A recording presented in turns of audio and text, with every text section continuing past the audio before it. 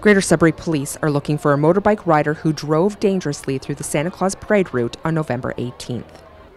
Police said the driver nearly struck pedestrians and police officers just prior to the start of the parade around 6 p.m. Sudbury.com's live stream camera was rolling when the individual drove through the closed road in front of the Northern Life office on Elgin Street.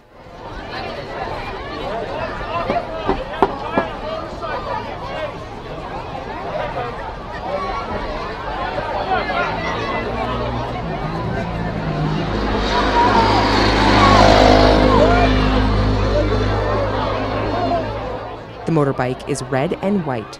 Anyone who has video or photos of the individual or any information is asked to contact police at 705 675 9171 or Crime Stoppers at 705 222 TIPS. You can also submit tips online at SudburyCrimeStoppers.com.